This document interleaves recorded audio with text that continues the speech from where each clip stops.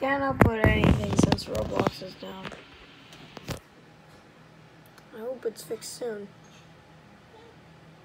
I think it's probably because, like, the, the dot me update. It's probably like a server attack. Like, look, I refresh and it's still not working. It, this thing pops up. Continue. Doesn't work.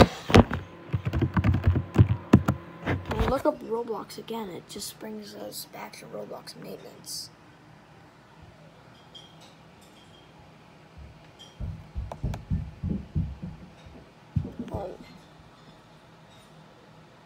There might be a way to like Roblox.com slash